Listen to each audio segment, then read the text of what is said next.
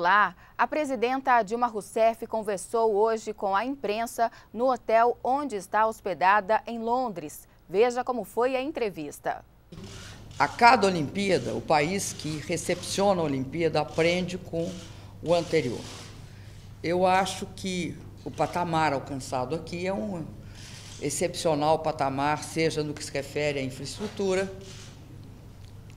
seja no que se refere à segurança e também nós vemos todos os desafios que é manter o, o trânsito funcionando num, numa cidade grande do mundo com os turistas chegando e a população também é, continuando a viver na cidade.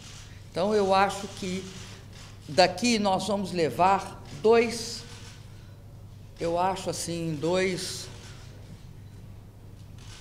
dois incentivos, a palavra correta. Primeiro, eu acho que o legado é muito importante. Aquilo que você usa para fazer uma grande Olimpíada pode ser usado para transformar essa grande Olimpíada também em algo que o povo daquele país que recebe, recebeu a Olimpíada, aqui no caso os ingleses, nós, os brasileiros, possam usufruir de uma maneira integral, de uma maneira plena, tanto no que se refere a esportes, quanto no que se refere transformando algumas instalações em é, centros educacionais, quanto transformando outras instalações de hospedagem em, em casas ou apartamentos de acesso ao público do país em questão. Então, eu acho que a questão do legado aqui é uma questão muito forte, juntamente com a preocupação que aqui tiveram com a sustentabilidade, né? procurando um, um é, edifícios sustentáveis, enfim, todo um nível de emissão baixa e todas as questões relacionadas à sustentabilidade. E também é, eu acho que dá para a gente verificar a importância de ter uma estrutura de segurança permanente. Né? No caso do Brasil, nós tivemos uma experiência boa com a Rio Mais 20. Acho que a união entre a Polícia Federal e o Exército Brasileiro e as Forças Armadas em geral foi muito boa no que se refere à questão da segurança. Para que seja uma Olimpíada, tem uma preocupação em ter uma boa performance nos jogos. Né? A essa é fundamental. Eu não ia falar dela. Queria saber o que a senhora espera do desempenho dos atletas brasileiros, que tipo de mensagem a senhora vai levar para eles hoje? E uma pergunta pessoal, tem algum esporte que a senhora particularmente gosta de acompanhar na Olimpíada? Olha, eu acho que o Brasil é muito forte hoje em jogos coletivos. Né? Nós somos bons em futebol, vôlei, basquete e handball, enfim. Sempre nos esportes coletivos a gente leva medalha, mas acontece que, apesar de ser um time completo, você ganha uma medalha por esporte coletivo. E aí tem esportes individuais que são mais medalhados. Eu acho que o Brasil vai ter de fazer um esforço para ampliar sua presença em, em esportes individuais. O, agora, meu esporte Sabe, a gente geralmente gosta daquilo que jogou, né? Porque você, né, aquilo você absorve. Eu joguei vôlei, então acompanho vôlei. Acompanho vôlei e, e, e, gosto muito, muito de ver basquete também. Ah, meu querido, não vou dizer que você vai. Sabe quando? É absurdo. Olha, até 40 anos atrás. Presidente, o ministro Paulo, presidente. Que? Paulo fez uma estimativa de 20 medalhas, é, cobrando principalmente o incentivo que o governo federal deu para o COP nos últimos anos e o incentivo que o pacote que a senhora vai anunciar, segundo ele, um novo plano no mês de agosto. É, a senhora também tem essa expectativa de 20 medalhas, pelo menos, do ministro Paulo? Olha, eu acho que a minha expectativa está em aberto. Por que, que eu acho? Porque eu acho que o desafio é a gente, numa Olimpíada, buscar o maior número possível. Tá? Eu entendo que o, o, o ministro Aldo tenha de colocar suas metas. É, o que, que eu acho que é importante, que nós estamos fazendo um grande esforço? Um, o Bolsa Atleta é importante. porque ajuda os atletas né, a terem uma profissionalização mais tranquila. Porque agora o Bolsa Atleta pode ser pago junto com patrocínio, o que dá um suporte né, de segurança mínima para aquele atleta. Acho que o Brasil precisa de incentivar o atletismo e o esporte no nascedouro. Onde? Nas escolas. É onde estão as crianças e os adolescentes. Por isso, nós fizemos aquele programa de cobertura de quadras. Cobrir as quadras esportivas que não estão cobertas e construir quadras coberta nas escolas, de forma a ter 10 mil quadras. É, se eu não me engano, e se eu não estou trocando os números, nós cobriremos 6 mil e construiremos 4 mil novas. Estou falando aqui de memória. Isso é importante por quê? Porque é lá na escola, lá no início. E aí é importante a divulgação dos Jogos Olímpicos, é importante é, as Copas do Mundo, porque elas atraem os jovens e as crianças para perceber a importância que os adultos dão ao esporte, porque também tem isso, é nossa a importância que a gente atribui, a importância que existe numa, por uma criança e por um jovem ter acesso a uma competição sadia. E eu não vou falar todos aqueles efeitos é, que, que é tirar a criança das ruas, é garantir que haja um, um local de, de uso muito virtuoso da energia que todo jovem, toda criança tem. Por isso, para mim, a, a Olimpíada e a Copa do Mundo, que são as duas coisas que nós vamos sediar, ela tem um papel não só importante do ponto de vista econômico, que a gente fala muito nisso, mas, sobretudo, eu acho, como uma forma de ampliar no Brasil a presença do esporte nas faixas da população que são aquelas que vão garantir a medalha. Hoje é a medalha do futuro. É isso que nós temos de fazer agora. A senhora vai assistir algum jogo aqui no sábado? A senhora tem uma. Gostaria de ver alguma coisa? Olha, eu, eu vou te dizer uma coisa. Você sabe que eu gosto muito de assistir pela, pela televisão, né? Porque, pode saber, vocês podem ter uns olhos assim muito agudos. O meu não é muito agudo, nunca foi, porque eu sempre fui míope. Então, eu sempre prefiro ver de perto.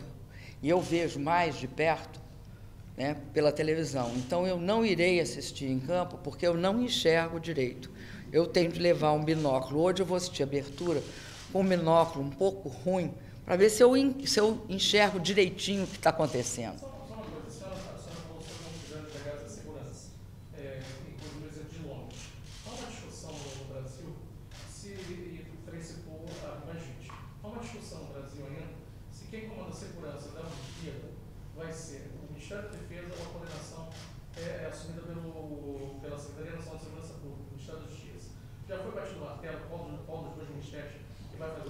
Não, eu posso te dizer uma, uma coisa e garanti-la para você. Os dois participarão da segurança. Nós não, nós não ainda é, equacionamos toda a questão de como é que será a segurança, por exemplo, da Copa, porque vão ser em 12 cidades, nem tampouco da, da Olimpíada. Agora, nós temos já uma boa experiência na Rio Mais 20. Como é que vai ser? Ainda nós vamos divulgar.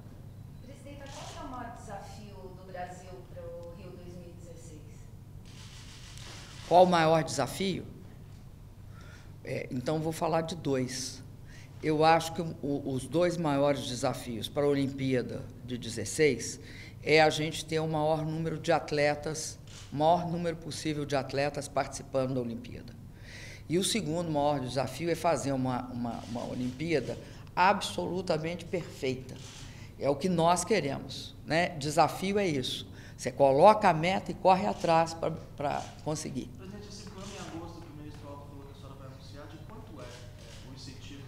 Se eu te falasse, eu estava anunciando hoje, nós estamos em julho. Muito vivo da sua parte, mas.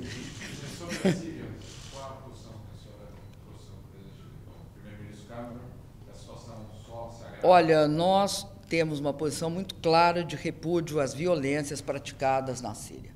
Né? Temos manifestado esse repúdio. Também achamos que você não, não tem uma solução simples na Síria. Achamos e sempre apoiamos as iniciativas das Nações Unidas, em especial a ida do Kofi Annan e todas as tentativas sérias do Kofi Annan de construir a paz. Achamos importante que todos os integrantes do Conselho de Segurança das Nações Unidas tenham uma posição comum no sentido de é, construir a paz na Síria. É, não é um fato, um fato fácil e nós também não achamos que os instrumentos até agora utilizados nos outros países, quais sejam a invasão do Irã e do aliás, a invasão do Iraque e do Afeganistão resolvam qualquer problema, seja na Síria, seja no Irã, seja em qualquer outro país. Porque tá, está provado que não dá certo. Então, o que nós temos de construir em conjunto, todas as nações do mundo, é um caminho diferente em que a paz seja obtida por meios diplomáticos, mas por meios diplomáticos muito efetivos e a partir do, de um consenso criado dentro do Conselho de Segurança. Olha, nós, nós estamos abertos para qualquer discussão a respeito. Agora, ninguém vai aqui discutir em tese, né? Vamos discutir as propostas concretas. Não se faz uma discussão dessa seriedade em tese.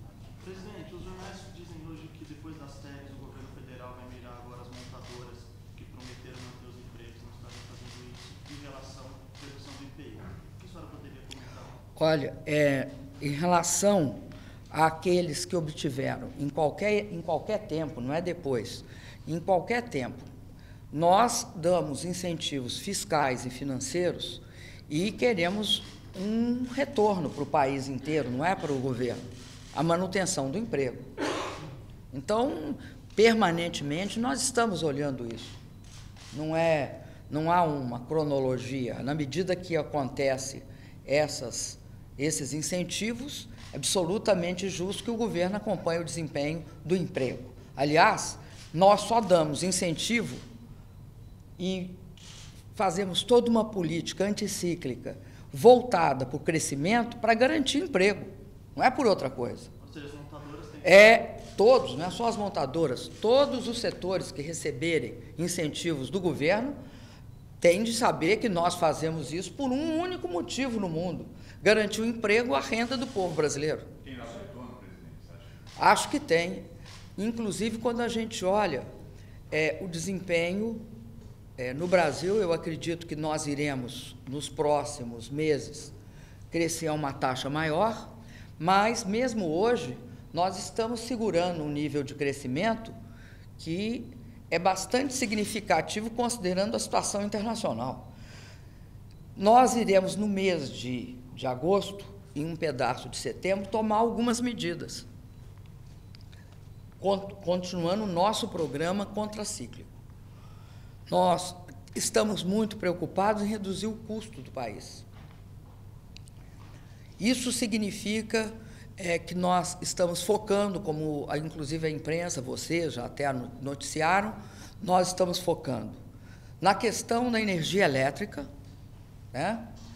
Aproveitando o fato de que uma parte das hidrelétricas do nosso país, nós todos, brasileiros, pagamos essas hidrelétricas, então elas estão amortizadas. Nós queremos devolver isto através de uma redução do custo da energia. Isso é uma questão. A segunda questão, o governo vai fazer uma política de investimento na área de portos, aeroportos, ferrovias, rodovias e essa política também vai ser expressa, tanto através de concessão como outros marcos regulatórios, PPPs, etc. Como? A gente espera divulgação. Eu não vou antecipar aqui nenhuma medida, porque. Por que, que eu não vou? Não é porque eu estou fazendo segredo, não. É porque a gente está acertando, daí vai que aconteça alguma coisa e aquela medida específica não ocorra, é, vai ficar muito ruim para mim e para quem também divulgou. Então, vamos esperar. E a terceira coisa, também nós estamos fazendo uma avaliação sobre as possibilidades, mais possibilidades de desoneração tributária. Aí em geral. É sobre a conversa que a senhora teve com o primeiro britânico, é, a senhora falou sobre crise econômica. Dá para, é, sobre a avaliação que vocês fizeram aí do quadro atual? Posso emendar uma pergunta dela? A senhora chegou no dia que foi anunciado um dado muito ruim para a Inglaterra, né? Que a recessão se aprofundou um pouco. A senhora acha que isso também pode Olha, eu acho que o Brasil não é uma ilha, né? Todos os países do BRICS, eles vêm sendo afetados, a gente vê é, eles sendo afetados pela crise, né? Redução do crescimento da China, impactou no Brasil, impactou na Índia, né? impactou na África do Sul. Não há um país que possa passar uma crise dessa sem sofrer algumas consequências. A diferença do Brasil para o caso do Reino Unido é que nós temos uma situação fiscal, uma situação financeira, bancária, diferenciada. Né? O Brasil fez seu dever de casa, até porque aprendeu. Né? Vamos lembrar que nós tivemos uma crise de dívida soberana que durou quase 20 anos. Né? Começou em 82, com a crise da dívida no Brasil, e, e, e nós fomos sair dela no início do, do século 21. Depois, nós conseguimos também, é, vocês lembram também da crise bancária brasileira? Nós também temos hoje um, um sistema financeiro com, com um nível de, de, exigência de capital muito maior e bastante, bastante sólido. E o Brasil tem um processo que eu acho muito importante, que é um processo de distribuição de renda, em que nós elevamos para a classe média uma Argentina em 10 anos. E vamos, estamos continuando a, fazer, a elevar mais e mais pessoas à classe média. Então, nós estamos criando, à medida que nos desenvolvemos, nós estamos ampliando e criando um mercado consumidor. E aí é muito importante o que vem acontecendo no Brasil. Sem, sem é, turbulência, sem nenhuma medida arbitrária, nós estamos melhorando o nosso mix de política econômica tanto no que se refere a uma redução dos juros, como uma estabilização do câmbio num patamar de não é, supervalorização do real.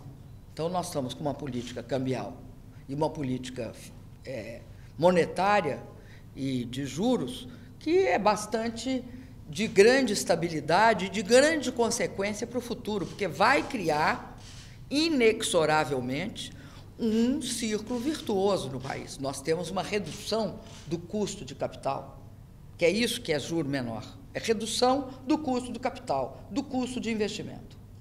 Nós não estamos querendo é, um país que seja compatível com a sua situação, então isso é um elemento importante. Não significa que o juro não vai subir, descer, subir, descer. Só que ele subirá e descerá em patamares absolutamente diferentes dos do passado, onde a gente chegou a ter juros de 27%, o que é, de fato, algo extremamente pesado para se carregar, uma economia carregar. Né? Então, eu acho que o país está, inclusive, aproveitando essa oportunidade que nós temos de redefinir as condições de crescimento econômico é, nós temos certeza que estamos num caminho de estabilidade, com a inflação sob controle. Nós vamos fazer tudo isso mantendo a solidez fiscal, mantendo a inflação sob controle e continuando as nossas políticas sociais, que são essenciais para o nosso país. É, outro dia, inclusive, vocês acharam, né, eu escutei, fiquei quieto, falei, bom, quem sabe não sou eu a errada, né? Eu falei numa reunião da Conferência de Crianças e Adolescentes que um país tem de ser medido pelo que faz para os seus jovens e as suas crianças. Eu mantenho. O PIB só tem sentido por isso. O PIB não é um fim em si. O fim em si é a as condições de vida das crianças, dos adolescentes e da população brasileira. Como consegui-lo? Tem de crescer a economia, tem de gerar emprego. Sobretudo, tem de garantir que haja riqueza para distribuir. Como é que tem riqueza para distribuir? Crescendo o PIB. Sinto que não ficou muito claro naquele momento. Mas é isso, não tem como distribuir riqueza sem tê-la. E nós sabemos isso na carne, porque foi isso que nós fizemos, e aí eu estou falando nós, incluindo o Lula, a quem eu tive a honra de servir como ministra-chefe da Casa Civil. Então, quando nós fizemos isso, foi com a consciência de que o país precisava de crescer e distribuir renda. E isso é um, um dos problemas mais graves que nós temos de resolver: saúde e educação. Por quê? Porque vocês vejam como é engraçado. É, nós somos responsáveis por ter levado 40 milhões para a classe média. Né? Quando você eleva uma pessoa à classe média, ela passa a ter um nível de exigência crítica cada vez maior. Porque você vira consumidor, você vira um consumidor, todo consumidor é crítico. Né? Tem de ser crítico. Ele consome, ele escolhe, ele vai. E aí que está a questão. O Sistema Único de Saúde tende a atender a esse conjunto da população, porque antes era assim: os ricos eram atendidos pelo sistema privado e os muito pobres pelo Sistema Único de Saúde. Progressivamente, Sistema Único de Saúde tenderá a ser o sistema da classe média brasileira. E esse sistema vai ter de responder à classe média. Por isso que nós temos feito alguns, alguns, algumas mexidas nele. Primeira grande mexida no SUS é completar a cadeia. Tinha os postos de saúde e hospital, e no meio nada. Então, se colocou o SAMU. O SAMU é para quê? Para levar as pessoas para onde elas podem ser tratadas. Se criou aquele UPA 24 horas. Para que, que você cria o UPA 24 horas? Para garantir que a, pessoa que tiver alguma emergência ou uma urgência, ela tenha para onde ir. Não precisa necessariamente ir todo mundo para o hospital, porque aí você tem filas nos hospitais, você tem tra maltratamento nos hospitais, porque dá o quê? Congestionamento. O que, que a UPA faz? A UPA, dos 100, vamos supor, a média é a seguinte, de 100 pessoas que chegam à UPA, 97 são atendidas e o seu problema resolvido na UPA. 3% vai para o hospital. Então, completar o SUS foi, é muito importante. Outra questão que todas as pessoas, se pegar uma pesquisa nessa área, todo mundo vai queixar, é o atendimento do médico. O Brasil está fazendo um esforço para expandir a quantidade de médicos que ficarão disponíveis para a população. É a qualidade do atendimento dos hospitais. Nós fizemos um acordo com os hospitais privados de excelência né, tantos de São Paulo, de Porto Alegre, do Rio, para com esse conjunto de hospitais de excelência nos dar suporte para melhorar os hospitais, os 40 principais hospitais da rede pública do país, espalhados pelo Brasil todo.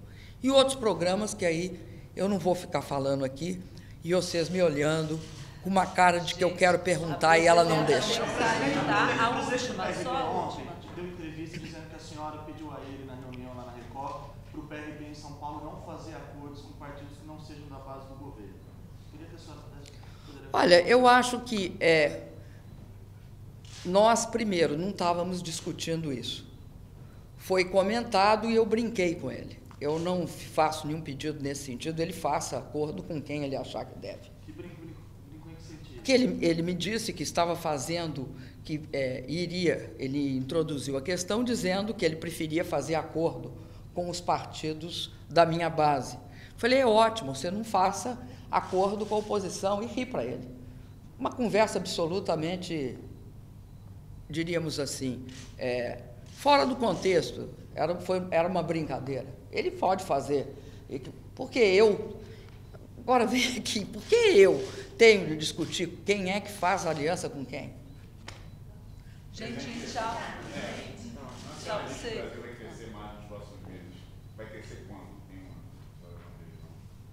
Não, querido, eu não faço esse tipo de previsão, porque se crescer diferente do que eu te disser, meio por cento, vou contar o que, que você vai fazer comigo. Você vai chegar para mim e falar assim, presidente, você disse aqui que ia crescer X. cresceu X mais ou X menos. Como é que a senhora explica isso? Faço não. Tchau.